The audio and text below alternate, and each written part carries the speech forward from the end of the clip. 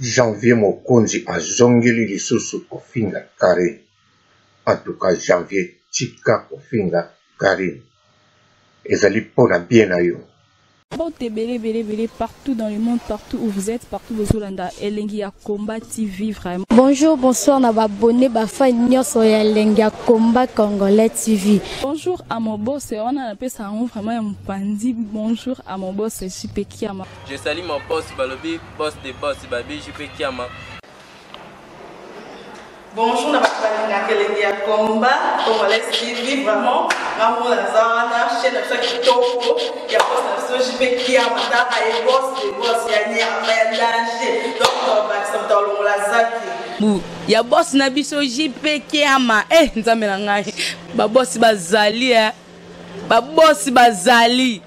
Eh, JP Kiama, le boss des boss. napesi d'abord bonjour toyebaka mbote ebele na mabosi jp kiama wana nakozangisa yo te donc nakoki koleka te sana napesa mabosi jp kiama boss de boss janvier mokonzi azongeli lisusu kofinga karine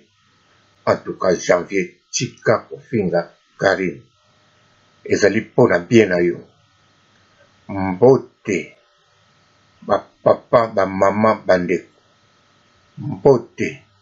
ba rando na ba randonette mbote bato oyo balingaka rando na ba oyo balingaka rando te mbote ba jeune garçon na ba jeune fille mbote bana mike na ba bebe mbote ba sainte anuarite sainte therese sainte ingrid kabongo bandeko na nga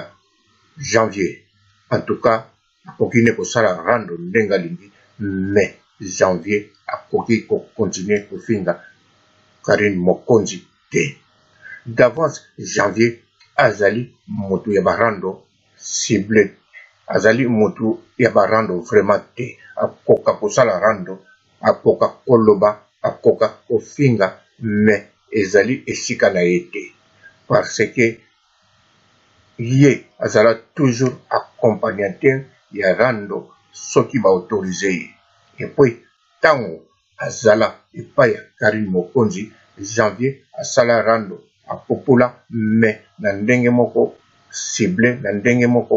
calicule ebandaki vraiment ko touche makasi te mais ebandaki kosala eh, effet nango na moto oyo to na kote ya bato oyo batindi mais sikoyo janvier azosala rando oyo ezali meme pas na contrôle rando moko ya desordre mpe aza kotake moto oyo ye akoki kotake ata moke te ti mokolo rando ekosila kari bokonzi bon nayebi te Janvier ezali na volonte na ye te naza na ngo sur à 100 pourcent te mais à un million de pourcent parce que na sololaka na Janvier na yebi volonte ya Janvier mua muke pe na yebi Janvier ndenge azalaki mwa moke na Carine, ndenge pe azalaki na Christelle Kabeya pe quelques temoignages ya vie na ye normale ndenge akolaka. Donc Janvier rando oyo azo sala ezali vraiment force. Bien sur sa maitriser rando yango pona ko finga Carine parce et nionso wana soki a maitriser yango parce que ayebi modèle ya koloba po janvier modèle ya koloba ayebi mais azui modèle na ye ya koloba abaloli yango akomisi yango penza na rando amikoti na kati ya rando po kaka asasa Carine Mokonzi mais ezalaki na volonte na ye te mais sikoyo lokola alati yango ekomi lokola volonte na ye mais eza sur et certain bato baza na nsima na ye donc bato nini bakoki kozala na nsima na ye ekoki kozala numero 1 da, dadi mola bon nayebi te dadi mola soki ye moko moto azoinvente ide wana to ezouta na likolo. Moto mosusu oyo akoki kotinda rando oyo ezali Miriam Mokonzi. Nayebi te soki bon oyo naza nango sur ekoki kozala Miriam Mokonzi parce que rando nionso oyo eningani kobanda l'equipe nationale ce partout ndenge epeli makasi boye rando oyo ezo regne sikoyo rando oyo biso nionso toza kolobela ya Carine Mokonzi na Myriam Mokonzi yango moto eboti ba rando ebele ebele oyo mpe yango mutu ebimisi ba charges mpe yango mutu ebimisi ba emissions ebele na internet donc elingi koloba ye mpe mutu azo tinda janvier ba rando nionso oyo ezo leka kombo nango mpe rando Miriam Mokonzi mpo ye mutu abandaki yango ye mutu a declenchaki bitumba ya rando yango en tout cas cote kuna nasengi ye merci mpo nga nalingaka rando. mais eza te ke atinda janvier po janvier dejà ndenge aza wana rando eza biloko na ye te janvier aza moto moko azali accompagnateur donc ndenge mikolo ya komokangama na fifi siwa meme fifi siwa akopesa mbongo te asala ba rando ya desordre fifi siwa akoki kotika ye asala quelque clash mais rando oyo aleki na chaine oyo apupoli carine akeyi kote oyo apupoli carine azongi kote oyo apupoli carine fifi siwa ako autoriser yango te po ayebi janvier ndenge azali ayebi kisasa ndenge ezali ayebi vie oyo bato bamenaka na kati ya congo malamu ke bato bazali na poto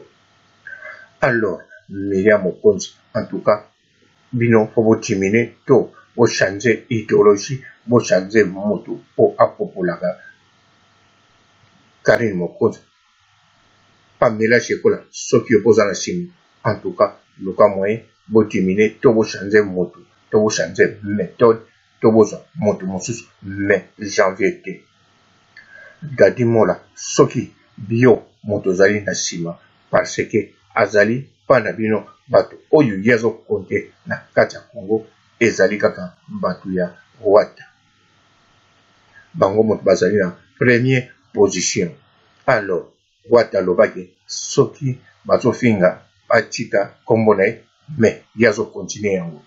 donc boyeba ke janvier rando eza makambo naye te rando akoki nde ko popola akoki nde kosala rando mais rando eza makambo naye te surtout makambo naye te pona a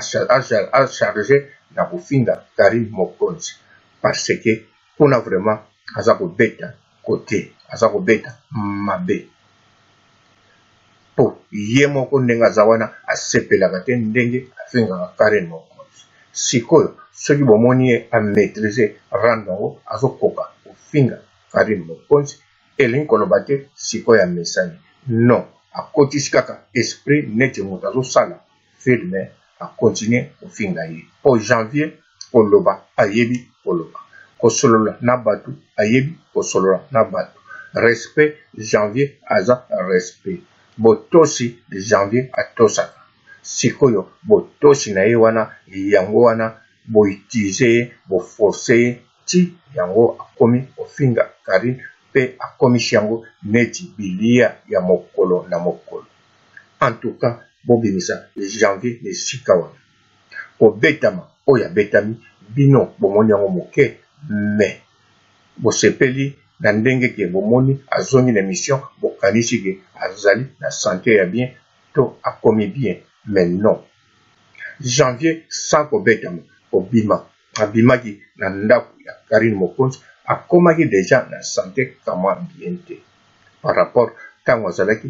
pa ya Carine Mokonzi mais bino moyen bomona yango eza te parce que na kati ya Congo bato ata oza na sante mabe okoki no kotambola Mpo moto ya sante mabe na sante malamu, bokoki kozala motu moko, elongi moko, couleur moko, mpe bokoki kolata chemise ndenge moko, kaka nde soki mpenza olali na etoko to na eponge to na mabele nde bayebi que oza malade. meme soki oza monene to oza moke to oza mwindu to oza pembe mais janvier kolongwa longwa na ndako ya kari en tout cas akomaki kosouffrir mpo avant tomoni na baimage ndenge aza kochange ntango mikolo na mikolo banda banda rando ngai ntango kaka aza na ndako ya Carine Mokonzi, nabandaki kosolola na ye. Ntango mpe alongwe na ndako ya Carine Mokonzi, nabandaki kosolola na ye. Alors, namona bachangement na maloba na ye, namona bachangement na motu na ye, namona bachangement na baimage na elongi na ye. Donc oyo nionso alingi janvier asalela ye janvier aza na ba capacite ebele ya makambo ebele oyo akoki kosala epai ya premierement janvier aza mutu moko accompagnaka mutu kitoko oyo bobengaka biro to oyo bobengaka mukala to oyo bobengaka petia confiance to partenaire to kombo nionso bolingi mais janvier aza mutu moko soki accompagne yo ako compagne yo kitoko ako respecte yo ako batela eloko yo otindi abatela pa ya Christelle kabeya azalaki komelela ye saki eza pe na mbongo azalaki pe kotala yango azalaki pe kokengela eloko Christelle kabeya alingi akengela pa ya Carine Mokonzi akengela Carine Mokonzi alala na Carine Mokonzi ndako moko panda deux ans. Carine Mokonzi akei poto atiki ye na ndako wana janvier akontinue kokengela ndako kitoko mpe avandaki kitoko soki aliaki biloko nyonso ezalaki na frigo parce que esengelaki alia. soki akomaki koteka kelke biloko ya ndako parce que amonaki Carine Mokonzi s'akomi na Paris. Bien sûr, Carine Mokonzi ye moko andimaki te que Janvier atekaki kelke biloko, mais lelo oyo andima Janvier atekaki Kelike biloko soki atekaki yango eza acte mabe mais na ndimi te na vie oyo bo vivaka na kisasa ekoki ko bima atekaki yango po ayiba mais soki atekaki yango ezalaki ayebaki soki Carine azongi te batu mosusu mutu mutu ko beneficie na mua biloko oyo ya mike mike pourquoi pas ngai mutu na zalaka na ye aza mami na nga tika na beneficie na yango bino bokotia janvier jamais na bandako na bino ni deux jours ni une semaine bolala na ye ndako moko bolamukaka na ye neti karine mokonzi asala yango botika bolongola ye na barando wana bolukela ye rando na moto mosusu me ezala mpe rando moko ya kokontinue te ezala ya de temps en temps po janvier rando eza biloko na ye te meme carine mokonzi azalaki ko autoriser ye te asala rando chaque jour to attaque ndenge nionso meme soki baza na equipe nationale soki carine mokonzi atiki janvier aloba Donc maloba eza bien controler. Oyo atie tembe akoki kozonga na ba tele realite ya Carine Mokonzi bokomona janvier apupula mais na ndenge ya soin. Moto oyo bazo pupula azozwa biloko na ye mais soki alataki elamba ya pembe ezo tikala kaka pembe. Mais modèle bino bokomotinda janvier apupula. na bakanda moko soki ya ndenge nini tozomona moto atalataki elamba ya mwindu tozomona neti alimwe toyebi te soki batyami mwindu to ekomi butu to kake moto ebeti na elamba ya moto wana yango wana atuka janvier ndenge azongi kopopola lisusu surtout na émission ya fimbo na fimbo ya ken mpiana na regrete parce que Ken akotika Janvier te alala meme na cuisine alors soki pe akokende na site wana mosusu oyo efongwami enzai nayebi te soki nzele wana un jour akotika balala ndako Bon pona nzele wana na yebi nanu te po ye aza pe jeune ndenge Carine mokonzi azalaki aza pe na beaute ndenge Carine mokonzi azalaki aza pe na ba tatouage wana tango mosusu eko simba koleka na ekoleka lokola ya Carine mokonzi donc ako tia ye na ndaku bako vanda ndaku moko pe ako pekisa janvier atika ba rando ya modele boye. en tout cas oyo aza na site wana en tout cas zwa janvier ata bozala na ye linga olongola ye na ba rando oyo dadi mola miria mokonzi pamela shekola balingi asala mpo na bango bon nasukisi awa otikala malamu ciao Bonjour fidèle internaute de www.elengiakomba TV. Bonjour, bonsoir, balandi nyonso ya elengi ya combat.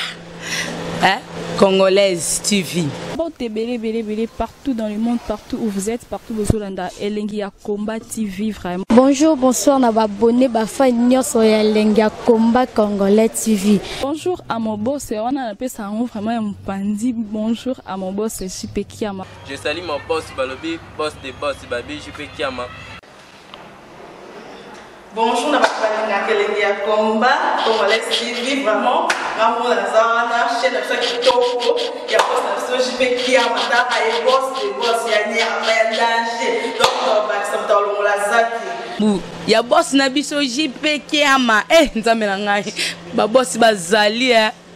ba boss bazali